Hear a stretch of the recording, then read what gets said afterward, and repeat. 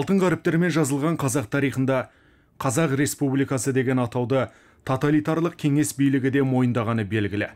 Бір ғасыр бұрын ел үшін жанын берген ұлттық идеясы мен арманы бүгінгі тәуелсіздік болған алаш қайраткерлері бүгінгі ұрпаққа осы идеологияны аманаттап бастап берді.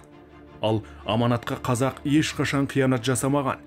Қазақ елінің сан ғасырлық даму тәжірибесін салт дәстүрін төңкеріспен күрт өзгертуде емес қайта оларды өркениетті елдердің өмір тәжірибесін ескере отырып одан әрі дамып білім алуды көппен терезе теңестіруін көздеген алаш арыстарының ізбасарлары ретінде ақжол партиясы өздерін әу бастан танып қойған.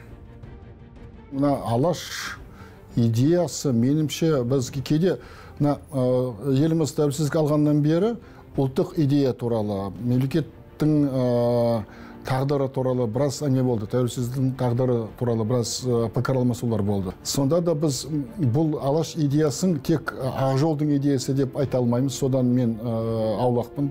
Мен тіпті біз өзіміздің бағдарламамызда мысалы қазіргі вот жиырмасыншы қарашада қабылдаған партиямыздың жаңа саяси бағдарламасында біз алты бөлім көрсеттік алты бап. Солардың ең алғашқы тәуелсіздік пен алаш ұлттық идеясы. Деген баптың несі тақырыбы. Ал сол тақырыптың аяғында біз бұл алаш идеясы ешбір саяси немесе қоғамдық күштің жеке меншігі емес және де ол жеке шилендіруге жатпайтын дүние. Және де ақжол партиясы да бұл алаш идеясын еліміздің ортақ қор ретінде ортақ мұрас ретінде ортақ біздің қазынамызда байлығымызда ретінде қарастырып отыр. Сол кездегі алаш ардақтыларының айтып кеткен экономикалық көзқарастары мына ұлттық экономика деген нәрсе бүгін әлі күнге дейін өзекті болып тұр. Шын айтқанда күнделікті керек заттың бәрі елден шығу керек. Оның көпшілігі бізден шықпайды. Осыны жүз жыл бұрын айтып кеткен біздің алаш ардақтылары жүз жыл бұрын айтып кеткен. Жердің тасы кеудесіне қазақтың түйме болып қадалу керек қойдың жүні иығына шекпен болып жабылу керек деп сол кезде айтып кеткен. Қазақстан республикасының парламенті мәжілісі мен облыстық аудандық мәслихаттардың сайлауы бұрынғы саяси додалардан қарағанда өзгеше болғалы тұр. Әр партияға озық ойлы жастар мүше болып жатыр. Кезінде алаш деп ұрандағандар да сондай жалындаған жастар еді. Негізі мына он жетінші жылы желтоқсанда алаш автономиясы құрылып оның алашорда үкіметі жасақталғанда назар аударсаңыз алашорда үкіметінің 15 мүшесінің ішінде басым көпшілігі жастар. Халел ғаббасұлын алыңыз. Ермек әлімхан ермекұлы. Бұл кезде тіпті жоғары оқуын бітірмеген бала. Бірақ көз көрген көкірегі ояу жігіт еді. Олар елінің қамын қалай қорғады? Ойлап қараңыз. Басқаша айтқанда мынау алаш қайраткерлері тіпті он жетінші жылғы ақпан төңкерісіне дейін жастарды сол ұлт азаттық қозғалысына тарта білді оларға зор сенім білдіре білді. Алаш қайраткерлері олар өздері ғана күресіп қоймай олар өскелең ұрпақтарды дайындады. Сөйтіп алаш алаш орда үкіметінің құрамында қарасаңыз үштен екісі жастар болатын. Жастарды дайындай білді. Ал бүгінгі жас ұрпақтың нық басқан қадамын олардың ел дамуына қосар үлесіне аға буын сеніммен қарайды. Ақжол партиясының құрамына өздері сұранып келіп жатқан жастар көп. Сұлтан махмұтша айтқандай қараңғы қазақ көгіне өрмелеп шығып күн болатын жастардан күтер үміт зор. Ақжол демократиялық партиясы ол біріншіден қазақстандық кәсіпкерлерді қазақстандық бизнеспен араласатын адамдардың сұрақтарын көтеретін партия. Ақжол партиясы ол парламенттік партия. Тағы да десеңіз міне мен біріншіден бірінші рет партияға келгенде өте жылы өте сондай достық атмосфера болды. Оны мен оны мен сездім. Үшіншіден бағдарламасын қарасаңыз өте өте сондай қатты сұрақтарды көтеріп жатыр. Ол жастарды қолдау ол жемқорлықпен күресу. Ол алаш қозғалысының ісін басу.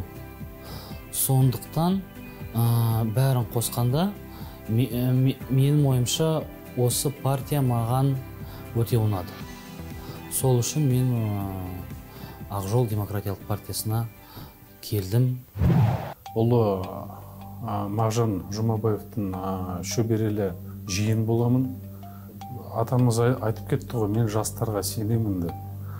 А, сол а, қазір жастар мінекей а, біздің жастарымыз иә а, тәуелсіздік алғаннан бері а, намыскер жастар қазір өте көп. Қазір мен өзім байқаймын а, жастар бет бұрып жатыр жаңағы. Біздің тарихымыз нақты қандай болған. Совет үкімет кезіндегі жаңағы